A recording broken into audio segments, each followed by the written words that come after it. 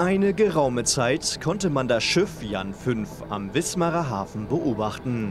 Das Schiff wurde 1985 erbaut und wird als Stückgutfrachter bezeichnet. Das heißt, dass der Frachter Güter lädt, die nicht einem Standardmaß entsprechen und in einem Stück transportiert werden. Zurzeit fährt es unter der Flagge von Antigua Barbuda, einem Staat in der Karibik. Das Schiff besitzt eine Länge von rund 81 Metern und eine Breite von 13 Metern. Der Frachter kam vom Hafen Seaham in Großbritannien. Nach fast drei Tagen Fahrt über die Nord- und Ostsee erreichte es schließlich den Hafen in Wismar.